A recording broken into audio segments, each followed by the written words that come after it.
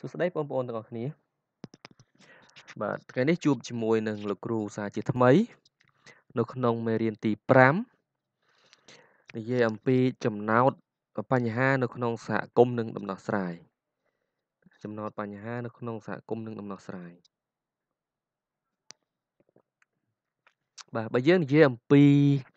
បញ្ហាបាទគឺស្មុគស្មាញមែនទែន ណាហើយបញ្ហាមានច្រើនយ៉ាងណាដែលបញ្ហាទាំងអស់ហ្នឹងសូមជួយចុច Subscribe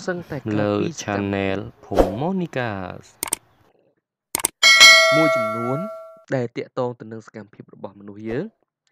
ហើយក៏មានបញ្ហាមួយចំនួនទៀតដែលតាក់ទងទៅនឹងកត្តាធម្មជាតិផងដែរអញ្ចឹងនៅពេលនេះនៅក្នុងមេរៀនរបស់យើងគឺ យើងលើកឡើងអំពីបញ្ហាដែលកើតឡើងនៅក្នុងសហគមន៍របស់យើង ដែលភាគច្រើនបញ្ហាទាំងអស់នោះគឺកើតឡើងអំពីមនុស្សយើងណាបាទដែលជាបញ្ហាឬក៏ជាកត្តាចម្បងក្នុងការបង្កើតនៅបញ្ហាទាំងអស់នោះអញ្ចឹងមុននឹងចាប់ដើមចូលទៅក្នុងខ្លឹមសារមេរៀនលោកគ្រូក៏សូមធ្វើការបកស្រាយទៅលើកិច្ចការផ្ទះដែលលោកគ្រូបានដាក់ឲ្យបងប្អូនធ្វើនៅក្នុងមេរៀនមុនណា ដែលលោកគ្រូបានចោទជាសំណួរសួរថាតើប្រព្រឹត្តកម្មណាខ្លះដែលចាត់ទុកជាបទល្មើសផ្នែករដ្ឋបវេនីណាបាទបងមើលសំណួរឲ្យមែនតើណាមុននឹងឆ្លើយបាទតើប្រព្រឹត្តកម្មណាអញ្ចឹងពាក្យថាប្រព្រឹត្តកម្មនេះគឺមានន័យថាយ៉ាងម៉េចដែរណាមានន័យថាជាអំពើនៃការប្រព្រឹត្តមែនណា បាទទីចង់ដឹងអំពីការប្រព្រឹត្តនៅអំពើណាខ្លះដែលយើងចាត់ទុកជាបទល្មើសផ្នែករដ្ឋបវេរដ្ឋបវេនីបើយើងនិយាយអំពីសកម្មភាពឬក៏បទល្មើសរដ្ឋបវេនីនេះវាច្រើនណាស់ប៉ុន្តែយើងត្រូវចែកឲ្យដាច់ទៅក្នុង ផ្នែកឬក៏ក្នុងក្រុមនីមួយៗដើម្បីឲ្យចម្លើយរបស់យើងចេញមកក្តោបរួមតែម្ដងណាបាទអញ្ចឹងយើងទៅមើលចម្លើយទាំងអស់គ្នា បាទប្រព្រឹត្តកម្មដែលយើងចាត់ទុកជាបទល្មើសផ្នែករដ្ឋបវេនីនោះមាន ទី1គឺជាសកម្មភាពដែលតាក់ទងទៅនឹងគេមរតកបាទអញ្ចឹងលោកគ្រូជឿថាប្អូនប្រហែលជាយល់ហើយណាពាក្យដែលមានន័យតាក់ទងទៅនឹងគេមរតកនេះអញ្ចឹងគេមរតកគឺសំដៅទៅលើ សម្បត្តិទ្រព្យធនទាំងឡាយណាដែលឪពុកម្ដាយ ណាដែលមេដាបេដាដែលអាណាព្យាបាលសូមជួយចុច Subscribe លើ Channel ភូមិ Monica ជាងរាល់រឿងក្តីឬក៏រាល់ចំនួនរាល់សកម្មភាពដែលតាកតងទៅនឹងគេមរតកមិនថាជាការបែងចែកមិនថាជាការដណ្ដើមឆ្លោះទាស់តែងគ្នាយ៉ាងណាទេ មានន័យថារាល់សកម្មភាពទាំងអស់ហ្នឹងគឺគេចាត់ទៅក្នុងបទល្មើសផ្នែករដ្ឋបវេរដ្ឋបវេនីណាបាទអញ្ចឹងទី1គឺតាកតងទៅនឹងគេមរតក ទី2គឺតាកតងទៅនឹងការលែងលះអញ្ចឹងរាល់ការលែងលះមិនថាលែងលះដោយការព្រមព្រៀងលែងលះដោយការដាក់ពាក្យបណ្ដឹងបង្ខំឬក៏យ៉ាងណាទេណាលែងលះដោយមានការបែងចែកស្មុកស្មាញទ្រព្យសម្បត្តិយ៉ាងណាទេ គឺនៅក្នុងសកម្មភាពនៃការលែងលះទាំងអស់ហ្នឹងគឺយើងត្រូវបានចាត់ទៅក្នុងបទរដ្ឋបវេនីដូចគ្នាណាបាទទី3គឺសកម្មភាពដែលតាក់ទងទៅនឹង កម្មសិទ្ធិណាបាទសកម្មភាពដែលតាក់ទងទៅនឹងកម្មសិទ្ធិ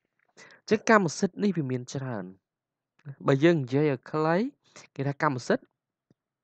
គឺសិទ្ធិដែលទទួលស្គាល់ស្របច្បាប់ណាសិទ្ធិដែលទទួលស្គាល់ស្របច្បាប់អញ្ចឹងកាលណាយើងមានសិទ្ធិទទួលស្គាល់ស្របច្បាប់ហើយយើងអាចប្រើប្រាស់យើងអាចបែងចែកឬក៏អាស្រ័យផលដោះដូរអីនៅក្នុងនឹងបានទាំងអស់ហើយអញ្ចឹងរាល់សកម្មភាពដែលតាក់ទង ណានាំឲ្យមានទំនាស់ទាស់ទែងតាក់ទងទៅនឹងកម្មសិទ្ធិហ្នឹងក៏ចាត់ទៅក្នុងបទល្មើសផ្នែករដ្ឋប្រវេណីដែរណាឧទាហរណ៍ថាយើងដាំដើមឈើណាអញ្ចឹងដាំដើមឈើបើយើងគិតទៅដាំនៅលើដីយើងឯងបាទណាប៉ុន្តែមែកឈើហ្នឹងវាឆ្លងចូលទៅព្រំដីរបស់គេម្ខាងទៀត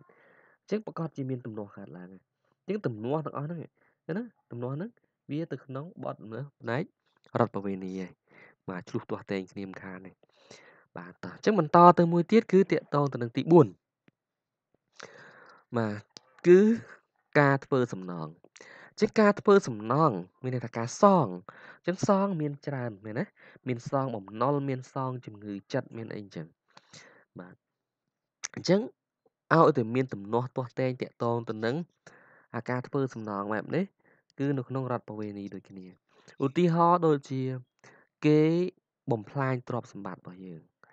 ណាគេបំផ្លាញទ្រព្យសម្បត្តិរបស់យើងអញ្ចឹងកាលណាគេបំផ្លាញហើយយើងប្រកាសជាទៀមទីហើយទៀមទីឲ្យគេសង សងជំងឺចិត្តយើងសងអ្វីដែលគេបានធ្វើឲ្យខូចខូចខាតចាអាហ្នឹងឯងចូលទៅក្នុងបទល្មើសផ្នែករដ្ឋបវេរ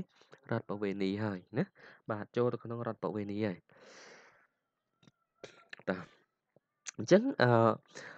ចម្លើយទៅលើកិច្ចការផ្ទះលោកគ្រូបានផ្ដល់ឲ្យបងប្អូនរួចហើយ បន្តមកយើងនឹងចូលមកខ្លឹមសារមេរៀនរបស់យើងណាមេរៀនទី5របស់យើងគឺ យើងនិយាយអំពីចំណោទបញ្ហានៅក្នុងសហគមន៍របស់យើងបាទហើយនឹងដំណោះស្រាយអញ្ចឹងមុននឹងចូលទៅខ្លឹមសារមេរៀនយើងត្រូវយល់អំពីពាក្យកន្លឹះមួយចំនួនណាដូចជាទី1ពាក្យថាកត្យានុភាពអញ្ចឹងកត្យានុភាពមានន័យថាជាអានុភាពនៃគេឈ្មោះណា ជាអានុភាពនៃគេឈ្មោះបាទពាក្យវឌ្ឍនភាព មានន័យថា ជាដំណើរនៃការរីករីកចម្រើនណាដំណើរនៃការរីកចម្រើន មានន័យថាពាក្យវឌ្ឍនភាពហ្នឹងគឺ វាដឹងតែរីកចម្រើនកើនល្អប្រសើរទៅមុខជានិច្ចវាអត់មានថយក្រោយទេបាទនិតនភាពនិតនភាព គឺសំដៅលើការលើកលែងពីទណ្ឌកម្មមានន័យថាអត់ ត្រូវបានទទួលទណ្ឌកម្មឬក៏ធ្វើទុកបុកម្នេញដល់ប្រការណាមួយទេគឺមានការលើកលែងណាគេហៅថានិតនភាពបាទចឹងយើងចូលមកខ្លឹមសារមេរៀនរបស់យើងណាដូចម្ដេចដែលហៅថាបរិស្ថានបាទអញ្ចឹងមុននឹងយើងរៀនអំពីបញ្ហានៅក្នុងសហគមន៍ឲ្យយើងយល់អំពីបរិស្ថាននៅក្នុងសិនមែនទេបាទដូចម្ដេចដែលហៅថាបរិស្ថានណាអញ្ចឹងបរិស្ថាន បាទបងប្អូនសាកឆ្លើយទាំងអស់គ្នាមើលបរិស្ថានគឺជាជាអីអ្វីអ្វីដែលនៅជុំវិញខ្លួនយើងឃើញណាបាទបរិស្ថានគឺជាអ្វីអ្វីដែលនៅជុំវិញខ្លួនខ្លួនយើងអញ្ចឹងរាប់បញ្ចូលទាំងអស់មានទឹកមានដីមានព្រៃព្រឹក្សាមានមនុស្សមានសត្វមានរុក្ខជាតិមានអីទាំងអស់ហ្នឹងបាទអញ្ចឹងទាំងអស់ហ្នឹងគេហៅថាបរិបរិស្ថានមែនទេគេហៅថាបរិស្ថាន គឺសំដៅលើអ្វីអ្វីដែលនៅជុំវិញខ្លួនខ្លួនយើងឯង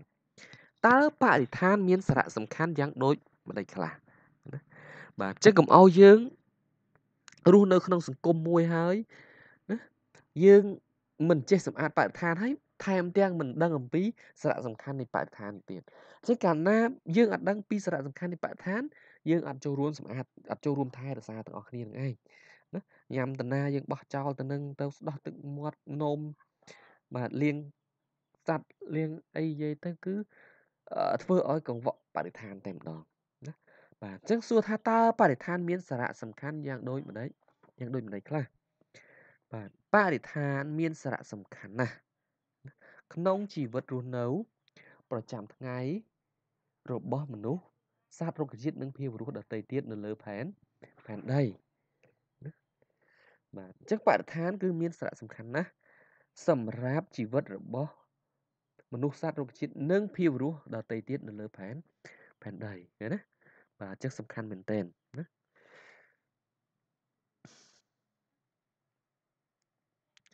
តើប្អូនសង្កេតឃើញមានបញ្ហាអ្វីខ្លះ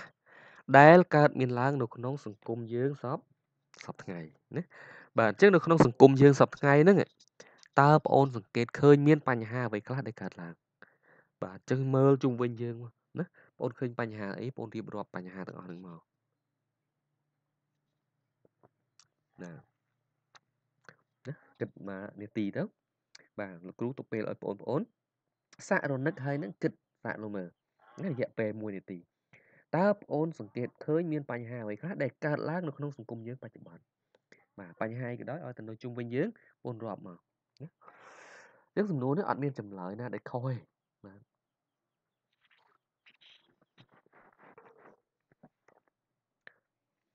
បាទតាអញ្ចឹងនៅក្នុងសង្គមយើងបច្ចុប្បន្នបញ្ហាដែលយើងសង្កេតឃើញក្នុងពេលបច្ចុប្បន្ននេះយើងឃើញមានដូចជាបញ្ហាដីធ្លីណាបាទឆ្លោះទាស់តែងគ្នារឿងដីធ្លីរឿងសម្បត្តិកម្មសិទ្ធិនឹងឯង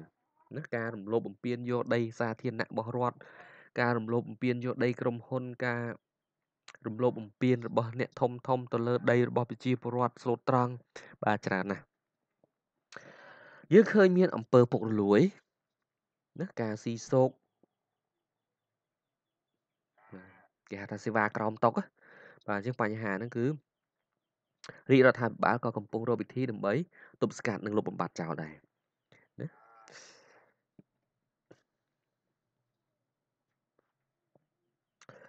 បញ្ហាអំពើហិង្សាបញ្ហាចោរកម្មបាទឃាតកម្ម ការជួញដូរគ្រឿងញៀនក្រុមក្មេងទំនើងបាទមកនិយាយពីក្រុមក្មេងទំនើងនេះយើងឃើញសម្បូរណាហើយរដ្ឋាភិបាលក៏ដូចជាអាជ្ញាធរមានសមត្ថកិច្ចលោកខំរិះរោគ្រប់មធ្យោបាយទាំងអស់ដើម្បីទប់ស្កាត់និងលុបបំបាត់ក្រុមក្មេងទំនើងនេះបាទដូចជាការដាក់ឲ្យអនុវត្តនូវគោលការណ៍ភូមិឃុំមានសុវត្ថិភាពទាំង9ប្រការហ្នឹងអញ្ចឹងបាទធ្វើម៉េចទប់ស្កាត់ក្រុមក្មេងទំនើងអញ្ចឹង បាទការបំពុលបរិស្ថានអញ្ចឹងការបំពុលបរិស្ថាននេះបើយើងមើលនៅក្នុងសង្គមយើងបច្ចុប្បន្នគឺសម្បូរបាទសម្បូរមែនទែនប្រជាពលរដ្ឋយើងនៅមានកម្រិតណាស់ក្នុងការទប់ស្កាត់និងការការពារបរិស្ថានកុំឲ្យមានការបំពុលណានៅមានកម្រិតណាស់បាទយើងតិចទៀតបងនឹងឃើញថាតើយើងបំពុលបរិស្ថានទៅលើផ្នែកអីខ្លះការបំផ្លាញធនធានធម្មជាតិជាដើមបាទ ជាការបំផ្លាញធនធានធម្មជាតិនេះក៏ដូចគ្នាដែរណាយើងកំពុងតែបំផ្លាញនៅធនធានធម្មជាតិដែលជាសម្បត្តិដ៏កម្របាទណាហើយបើយើងមើលគោលនយោបាយរបស់រដ្ឋាភិបាលក៏ទប់ស្កាត់នឹងការពារអភិរក្សទៅលើធនធានធម្មជាតិទាំងអស់ហ្នឹងបាទខ្លាំងក្លាណាស់ដែរបាទ អញ្ចឹងបញ្ហាមិនមែនមានតែប៉ុណ្្នឹងទេណាបញ្ហាមិនមែនមានតែប៉ុណ្្នឹងទេ បញ្ហាគឺមានច្រើនជាងនឹងរាប់មិនអស់ប៉ុន្តែបញ្ហាទាំងអស់នេះ ជាបញ្ហាដែលលេចធ្លោនៅក្នុងសង្គមរបស់យើងសពថ្ងៃក៏ជាបញ្ហាចម្បងដែលលោកគ្រូក៏បានលើកឡើងដើម្បីបញ្ជាក់ស្មារតីបងប្អូនឲ្យបងប្អូនបានឃើញនឹងចងចាំនៅក្នុងអារម្មណ៍ណាបាទចងចាំទាំងអស់គ្នា ហើយយើងព្យាយាមរកវិធីដើម្បីទប់ស្កាត់ទាំងអស់គ្នា តើកត្តាអ្វីខ្លះដែលជាមូលដ្ឋាននៃការបំផ្លាញធនធានធម្មជាតិក្នុងសហគមន៍របស់អ្នកអញ្ចឹងបើតាមការគិតរបស់បងប្អូនទាំងអស់គ្នាធនធានធម្មជាតិនៅក្នុងសហគមន៍របស់យើងតើមានកត្តាអ្វីជាចម្បងក្នុងការបំផ្លាញណាបងសាកគិតមើលបាទចឹងបងយល់ណាធនធានធម្មជាតិយើងសំដៅទៅលើព្រៃភ្នំ យើងសំដៅទៅលើដើមឈើធំធំ យើងសំដៅទៅលើទឹកបឹងទឹកទន្លេយើងសំដៅទៅលើសត្វយើងសំដៅទៅលើអឺនិយាយទៅច្រើនណាបូកបញ្ចូលគ្នាច្រើនយើងនិយាយធនធានធម្មជាតិនេះណាដូចជាត្រីជាដើមណាមច្ឆាជាតិទាំងនៅក្នុងព្រៃទាំងនៅក្នុងដីទាំងនៅក្នុងទឹកណាយើងហៅថាធនធានធម្មជាតិទាំងអស់ហ្នឹងអញ្ចឹងបងអូនគិតថាកត្តាអ្វីដែលជាមូលដ្ឋាននៃការបំផ្លាញធនធានធម្មជាតិទាំងអស់ហ្នឹង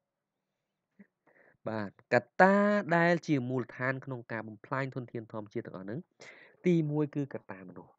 ណាអញ្ចឹងមនុស្សជាកត្តាសំខាន់ណាស់ក្នុងការបំផ្លាញធនធានធម្មជាតិទាំងអស់ហ្នឹងយើងឃើញថាមនុស្សបានធ្វើការប្រកបអាជីវកម្មអាជីវកម្មណាសំទោសបាទបានធ្វើការប្រកបអាជីវកម្មខុសច្បាប់ហើយធ្វើការកាប់បំផ្លាញព្រៃឈើ បាទធ្វើការកាប់បំផ្លាញព្រៃឈើយកទៅដុតជូងយកទៅធ្វើបង្គោលចម្រឹងយកទៅសង់លំនៅឋានយកទៅលក់ឲ្យបរទេសបាទអញ្ចឹងច្រើនណាច្រើនយ៉ាងណាការរុករករ៉ែដោយគ្មានបទដ្ឋានត្រឹមត្រូវនោះចេះតែកាប់ចេះតែជីកទៅគ្មានបច្ចេកទេសគ្មានអីត្រឹមត្រូវទេ ការនេសាទត្រីខុសច្បាប់បាទអញ្ចឹងដើម្បីផលប្រយោជន៍ខ្លួនឯង សូម្បីតែក្នុងរដូវត្រីពងក៏គាត់នេសាទដែរដែលជាខែដែលគេហាមឃាត់បាទដែលខាងជលផលគាត់ហាមឃាត់ថាមិនឲ្យនេសាទទេព្រោះខែហ្នឹងត្រីគាត់បាទអឺខាងជលផលគាត់ផ្អាកណាគាត់បិទការនេសាទព្រោះទុកឱកាសឲ្យត្រីនឹងបន្តពូជណាទុកឱកាសឲ្យត្រីបន្តពូជប៉ុន្តែយើងនៅតែនេសាទហើយការនេសាទនឹងទៅទៀតគឺមិនត្រឹមត្រូវទៅទៀតយើងប្រើអួន យើងប្រើដែកឆក់យើងប្រើគ្រាប់បែកយើងប្រើឧបករណ៍ខុសច្បាប់ជាច្រើនទៀតដែលធ្វើឲ្យត្រីនឹងផុតពូជណាកាន់តែផុតពូជកាន់តែហិនហោចទៅបាទការប្រើប្រាស់ជីគីមីអញ្ចឹងនៅក្នុងសង្គមយើងបច្ចុប្បន្ននេះយើងឃើញថាការវិវត្តនៃការប្រើប្រាស់ជីគីមីនឹងគឺខ្ពស់មែនទែនបាទគូផ្សំនឹងដីរបស់យើងណាគូផ្សំនឹងដីរបស់យើងវាហិល ណាដែលយើងប្រើជីគីមីបន្តបន្តបន្តបន្តទៅធ្វើឲ្យដីហិលខូចគុណភាពដីយើងខ្សោះអស់ជីជាតិអញ្ចឹងយើងមានតែប្រើជីគីមីនឹងជំនួយដើម្បីឲ្យទិន្នផលកសិកម្មរបស់យើងល្អណាពិសេសគឺប្រើប្រាស់ថ្នាំពុលតែម្ដងយើងបាញ់សម្រាប់សត្វល្អិតបាទវ៉ានិយាយទៅគឺមនុស្សបំផ្លាញច្រើនហើយកត្តាដែលចម្បងគឺមនុស្សខ្វះការអប់រំចឹងកាលណាមនុស្សខ្វះ ខ្វះការអប់រំហើយគឺគាត់អត់យល់អំពីផលប៉ះពាល់ដែលបណ្ដាលមកពីអំពើដែលគាត់បានធ្វើនឹងទេណាបាទអញ្ចឹងកត្តាជាមូលដ្ឋាននៃការបំផ្លាញធនធានធម្មជាតិចម្បងទី1គឺកត្តាមនុស្សហើយកត្តាទី2គឺកត្តាធម្មជាតិអញ្ចឹងធម្មជាតិខ្លួនឯងហ្នឹងក៏បំផ្លាញខ្លួនឯងដែរណាដូចជារញ្ជួយដីនេះឃើញរញ្ជួយដីម្ដងម្ដងបំផ្លាញច្រើនយ៉ាងមើលរលំអាគារបាក់ស្រុតខូច បាទទឹកក៏ខ្វក់ណាធ្វើឲ្យទឹកចំនួនធ្វើឲ្យច្រើនបាទបន្ទុះភ្នំភ្លើងហើយនឹងគ្រោះរាំងស្ងួតនេះអញ្ចឹងសុទ្ធតែជាកត្តាក្នុងការបំផ្លាញធនធានធនធានធម្មជាតិហើយដូចម្ដេចដែលហៅថាការបំពុលទឹកណាបាទដូចម្ដេចដែលហៅថាការបំពុលទឹកបងអូនយល់អំពីការបំពុលទឹកទេបាទបងអូនចេះមើលមើលថាអាម៉េចទៅហាទឹកនឹងមានការបំពុលណាអូនចេះមើល បាទទឹកដែលរងការបំពុលគឺសំដៅទៅលើទឹកទាំងឡាយណាដែល បាត់បង់ឧស្ម័នអុកស៊ីសែនណាដែលបាត់បង់ឧស្ម័នអុកស៊ីសែនបាត់បង់អនាម័យសម្រាប់ទ្រទ្រង់ជីវិតមនុស្សសត្វនិងរុក្ខជាតិចឹងឲ្យតែទឹកណាដែលបាត់អុកស៊ីសែនឲ្យតែទឹកណាដែលបាត់បង់អនាម័យដែលគ្មានអនាម័យ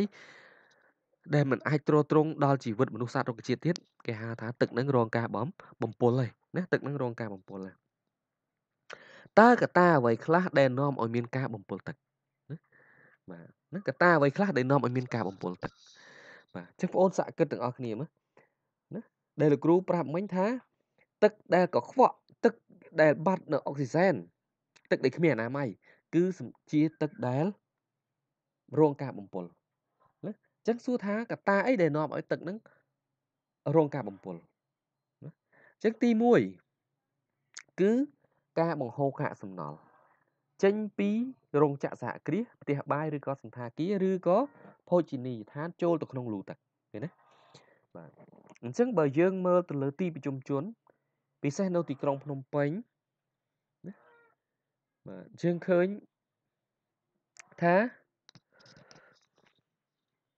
ប្រព័ន្ធលូទឹកស្អុយមួយចំនួន គឺបានបង្ហូរចូលទៅក្នុងទន្លេ ដែលបានបង្ហូរចូលទៅក្នុងទន្លេឬក៏បង្ហូរចូលទៅក្នុងទឹកបឹងបាទនេះសំដៅទៅកន្លែងមួយចំនួនមិនទូទៅទេអញ្ចឹងរាល់ការបង្ហូរកាក់សំណល់ឬក៏បង្ហូរចូលទៅលូទឹកស្អុយហើយលូទឹកស្អុយនឹងបានហូរចូលទៅក្នុងទឹកស្ទឹងឬក៏ទឹកទន្លេទឹកបឹងនឹងធ្វើឲ្យទឹកទាំងអស់នោះរងការបំពុលណាធ្វើឲ្យទឹកទាំងអស់ហ្នឹងខូចគុណភាពលែងមានអនាម័យទៀតទី2គឺតកតោទៅនឹងការបោះសម្រាមចូលទៅក្នុងទឹក បាទការបោះសម្រាមចូលទៅក្នុងទឹកនេះយើងអត់ទាន់ទប់ស្កាត់បានទេបញ្ហាទាំងអស់នេះដោយសារតែកង្វះការអប់រំយើងភិកច្រើនញ៉ាំតាណា យើងបោះចោលទៅនឹងយើងអត់បានវិកខ្ចប់យកទៅដាក់នៅក្នុងធុងសម្រាមឲ្យបានល្អនៅឡើយទេណាបាទយើងអត់ទាន់បានវិកខ្ចប់ហើយយកទៅបោះចោលធុងសម្រាមឡើយទេភិកច្រើនណាភិកច្រើនប៉ុន្តែមិនមែនទូទៅទេក៏នៅមានមនុស្សមួយចំនួនតូចដែលគាត់ចេះ រៀបចំហើយនឹងសម្អាតបរិស្ថានរបស់ហ្នឹងដែរពិសេសយើងឃើញដូចជាក្រុមក្មេងសម្រាមអញ្ចឹងណាក្រុមក្មេងសម្រាមបាទឃើញថាគាត់ណាយុវជនសម្រាមគាត់ចុះទៅប្រមូលសម្រាមនៅក្នុងលូទឹកស្អុយណាគាត់ទៅរស់ជាមួយនឹងរស់នៅជាមួយនឹងសម្រាមទាំងអស់ហ្នឹងបាទអញ្ចឹងគាត់ធ្វើយ៉ាងណាឲ្យសម្រាមឲ្យទឹកក្នុងលូទាំងអស់ហ្នឹងស្អាតឡើងវិញណាឲ្យលែងមានសម្រាមឡើងវិញ ការចុះងូតឬលាងសត្វឬបញ្ចុះសត្វឲ្យផឹកទឹកឬត្រាំឬលាងសម្ភារៈដែលមានសារធាតុគីគីមីជាដើមណាបាទចឹកចុះងូតបើនៅជនបទយើងមកណាយើងមានទឹកស្រះទឹកបឹងទឹកអូណាកូនក្មេងគាត់ចុះលេងលោតលេងណាឡើងដើមឈើអញ្ចឹងលោតទម្លាក់ទឹកអីចឹងទៅណាបាទអញ្ចឹងធ្វើទឹកហ្នឹងក៏ខ្វល់លាងសត្វបាទអញ្ចឹងសត្វបាទសត្វគោសត្វក្របីសត្វអីហ្នឹង បាទគាត់យកទៅលាងដោះក្អែលដោះអីវាប្រឡាច់ប្រឡាអីហ្នឹងបញ្ចុះសត្វឲ្យផឹកទឹកមិនថាអត់ដងឲ្យមកផឹកក្រៅទេ បាទមានមួយជ្រុងអញ្ចឹងទៅឲ្យគោចុះទៅផឹកទឹកអញ្ចឹងទៅណាឬក៏សម្ភារៈដែលមានសារធាតុគីមីណាបាទឧទាហរណ៍ដូចធុងបាញ់ថ្នាំនេះគាត់មកពីបាញ់ថ្នាំសម្រាប់សត្វល្អិតវិញគាត់ទៅជាមួយត្រាំចោលនៅក្នុងទឹកបន្លាយទឹកស្ទឹងទឹកពាំងទឹកស្រះហ្នឹងទៅ បានឲ្យវាថាសាបអាជាតិពុលនៅក្នុងធុងប៉ុន្តែក៏បានគិតថាអាសារធាតុពុលនៅក្នុងធុងហ្នឹងវាបានសាយភាយទៅក្នុងទឹកហ្នឹងទៅណានេះការសង់ផ្ទះនៅកំពង់ផែនៅមាត់ទន្លេឬនៅលើទឹក ការធ្លាយ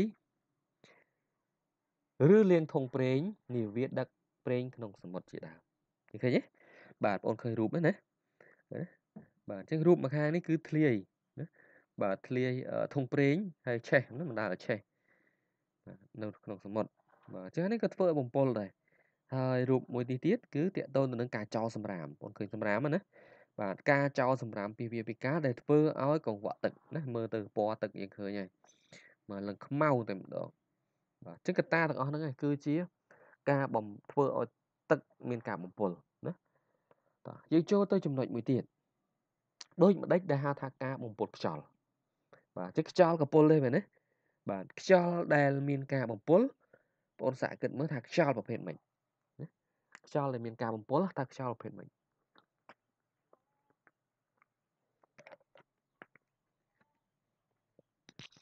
បាទខ្យល់ដែលមានការបំពុលគឺជាការកាត់បន្ថយនៅគុណភាពនៃខ្យល់ណា កាត់បន្ថយនៅគុណភាពនៃខ្យល់បានន័យថាវាលែងមានអុកស៊ីសែនគ្រប់គ្រាន់ទៀតហើយបាទការកាត់បន្ថយគុណភាពនៃខ្យល់ដែលទ្រទ្រង់ជីវិតមនុស្សសត្វរុក្ខជាតិដោយបំផ្លាញឧស្ម័នអុកស៊ីសែនឃើញទេបាទវាបំផ្លាញឧស្ម័នអុកស៊ីសែនមានន័យថាឧស្ម័នអុកស៊ីសែននឹងលែងមានគ្រប់គ្រាន់ទៀតហើយហើយជំនួសនៅឧស្ម័នពុលដូចជាឧស្ម័នកាបូនិកឧស្ម័នអ៊ីដ្រូកាបូនជាដើមណាបាទចឹងកាលណាមានឧស្ម័នពុលទាំងអស់ហ្នឹងមក គឺធ្វើឲ្យយើងពិបាកក្នុងការដកដង្ហើមណាបាទដូចជានៅក្នុងឆ្នាំ2020ណាយើងលើកបញ្ហាមួយចំនួននៅក្នុងប្រទេសកម្ពុជាយើងពិសេសនៅភ្នំពេញគេថាមានផ្សែងពុលណាដែលពិបាកក្នុងការដកដង្ហើមបាទហើយនៅបណ្ដាប្រទេសមួយចំនួនទៀតដែរអញ្ចឹងមានន័យថាខ្យល់ហ្នឹងគឺកំពុងរងការបំបំពុលហើយបាទរងការបំពុល តើកត្តាអ្វីខ្លះដែលនាំឲ្យមានការបំពុលខ្យល់ណាបាទកត្តាអីដែលនាំឲ្យមានការបំពុលខ្យល់បងដែលធ្វើឲ្យខ្យល់នឹងបាត់បង់អុកស៊ីសែនណាបាទគឺទី1ការដុតអុសសម្រាមឬក៏ថង់ប្លាស្ទិកបាទអញ្ចឹងយើងតែងតែគិតថាការដុតអុសដុតសម្រាមបាទយើងជួយសម្អាតបរិស្ថានយើងដុតថង់ប្លាស្ទិកចោលកុំអោយវានៅពីវាពីកាលវាចូលទៅក្នុងដីហើយមិនរលួយយើងដុតចោល ប៉ុន្តែយើងអត់បានគិតទៅដល់ផលប៉ះពាល់នៃផ្សែងរបស់វាណាអញ្ចឹងផ្សែងរបស់វាហ្នឹងវាបានទៅបំផ្លាញនៅស្ទាប់អូសូនរបស់យើងវាបានធ្វើឲ្យឧស្ម័នអុកស៊ីសែននៅក្នុងបរិយាកាសរបស់យើងបាត់បង់ណាទី2គឺការសំណល់ដែលគ្មានការវិខ្ចប់ត្រឹមត្រូវបាទអញ្ចឹងកាកសំណល់យើងវាមានច្រើនយ៉ាងណាវាមានអាសម្បកដបកាវវាមានអាថ្មអំបែង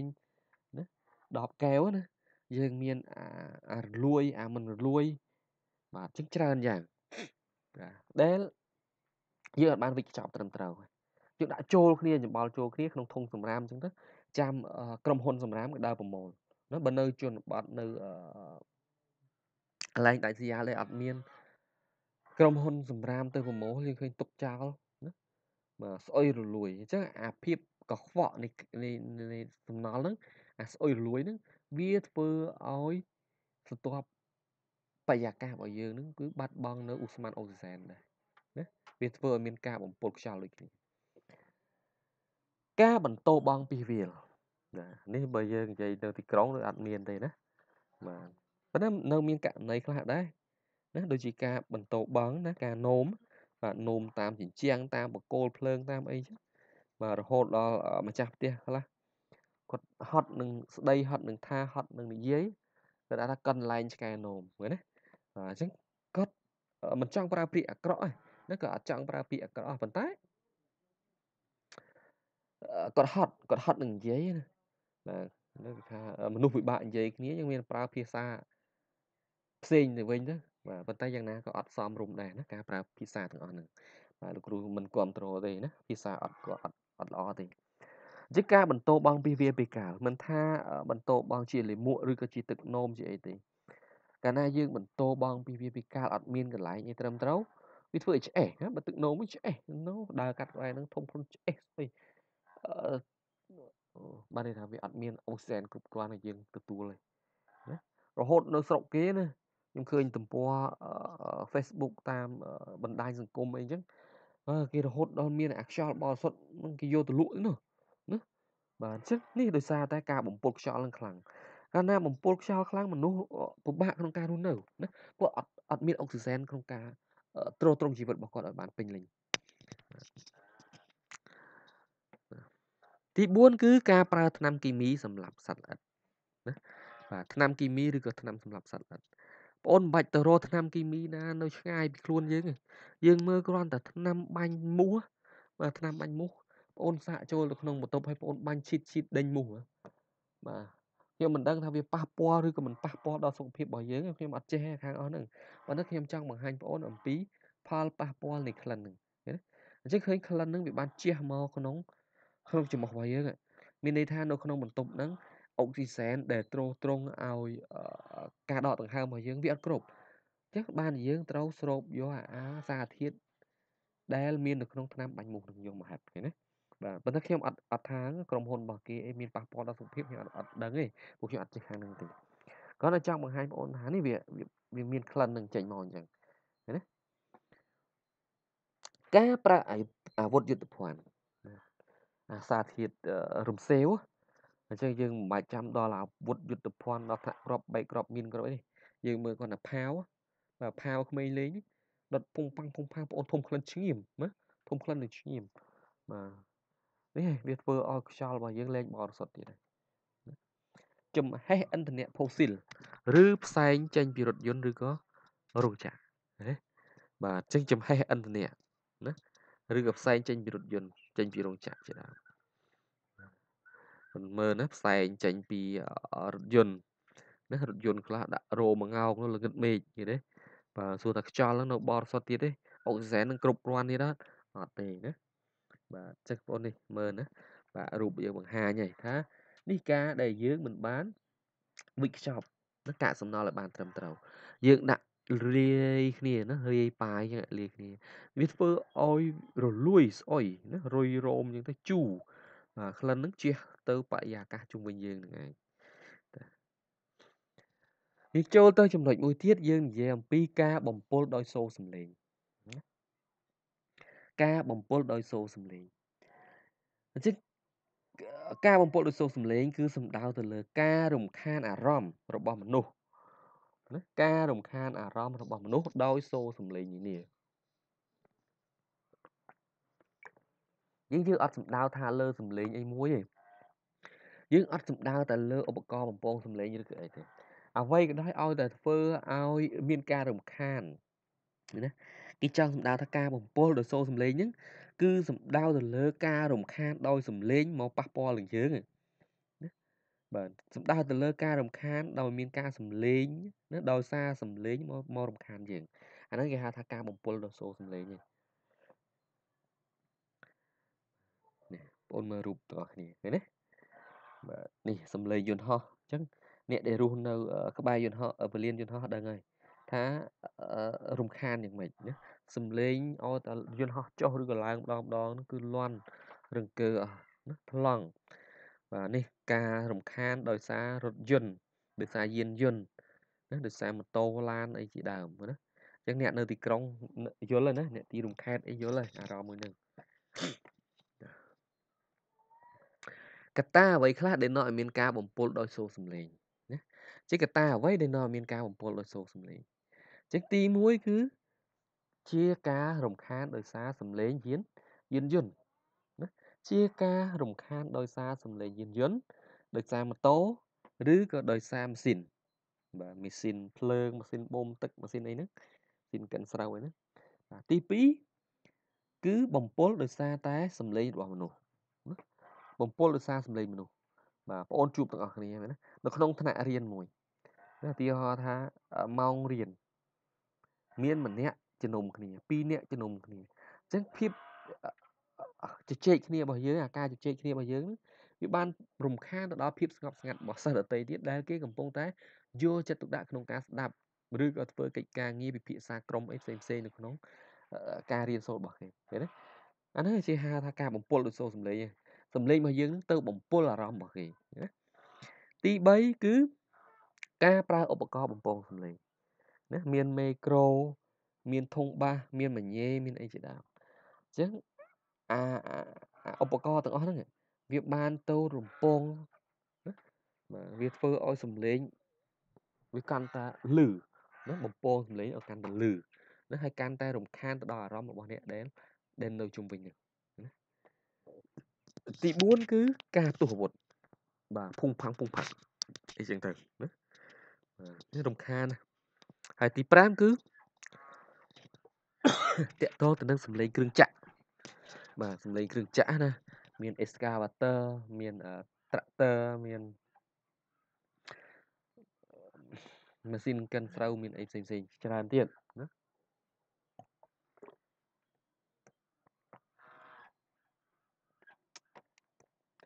បាទក្នុងការលើកស្ទួយធនធានមនុស្សប្រកបដោយចំណេះដឹង និងចំណេះធ្វើពិតប្រាកដ តើរដ្ឋាភិបាលមានគោលនយោបាយយ៉ាងដូចម្តេចខ្លះបាទនេះគេចង់ដឹងថាតើរដ្ឋាភិបាលមានគោលនយោបាយយ៉ាងម៉េចដើម្បី លើកស្ទួយនិងបណ្ដុះធនធានមនុស្សនៅក្នុងប្រទេសកម្ពុជាយើងនឹងឲ្យធនធានមនុស្សទាំងអស់នឹងប្រកបដោយចំណេះដឹងនិងចំណេះធ្វើយ៉ាងពិតប្រាកដណាជាងរាជរដ្ឋាភិបាលមានគោលនយោបាយដូចជា ទី1 គឺរដ្ឋាភិបាលបានខិតខំពង្រឹងនៅគុណភាពអប់រំពិសេសគឺក្រសួងអប់រំយុវជននិងកីឡា បានធ្វើការកែលម្អកម្មវិធីសិក្សានិងរឹតបន្តឹងការប្រឡងប្រជែងនានាណាដោយពាក្យស្លោកមួយដែលបង្កើតឡើងដោយក្រសួងអប់រំយុវជននិងកីឡាអញ្ចឹងថាអ្នកចេះគឺជាប់ណាអ្នកចេះគឺជាប់អញ្ចឹងបើយើងអត់មានសមត្ថភាពយើងអត់អាចយកសញ្ញាបត្របាក់ឌុបនឹងមកបានទេណាហើយយើងអត់អាច ទៅប្រកួតប្រជែងដណ្ដើមទីផ្សារការងារជាមួយនឹងអ្នកដទៃទៀតបានដែរណាបាទអញ្ចឹងទី1ទី2ការផ្ដល់ការអប់រំស្មើស្មើគ្នាដោយមិនមានការរើសអើងអញ្ចឹងមានន័យថារដ្ឋាភិបាលគាត់បានរិះរកក្រុមមជ្ឈបាយទាំងអស់ធ្វើម៉េចដើម្បីឲ្យស្ត្រីហើយនិងបរិសុទ្ធនឹងទទួលបានការអប់រំស្មើស្មើគ្នាណាអត់ឲ្យមានការរើសអើងឬក៏បែងចែកភេទវណ្ណៈពណ៌សម្បត្តិពូជសាសអីទេបាទធ្វើម៉េចឲ្យស្មើគ្នាទាំងអស់ទី3 ការបង្កើតសាលារៀនបន្ថែមនៅតាមសហគមន៍បាទដូចសាស